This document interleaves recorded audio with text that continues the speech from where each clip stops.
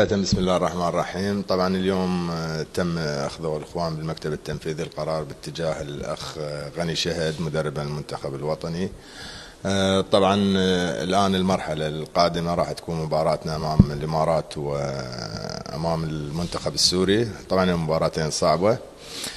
أه نتأمل إنه تكون عندي جلسة مع الأخ غني حتى نشوف الطلبات اللي موجودة عنده حتى نوفر له كل المستلزمات للمرحلة القادمة والمباراتين القادمة. أه أيضا راح يكون أه الإخوان اللي متواجدين آه، من الاستاف القديم اللي متواجدين.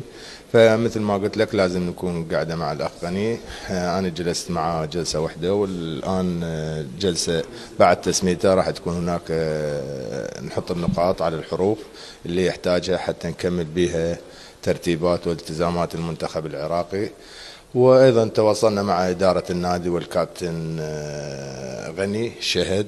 ومشكورين طبعا إدارة نادي نفط الوسط آه، على مساعدته على هذه المهمة الوطنية. وأيضا نشكر الأخ غني شهد لاستلام هذه المهمة في هذه الفترة. وإن شاء الله نكون آه، متعاونين ونقدر نعبر هذه المرحلة.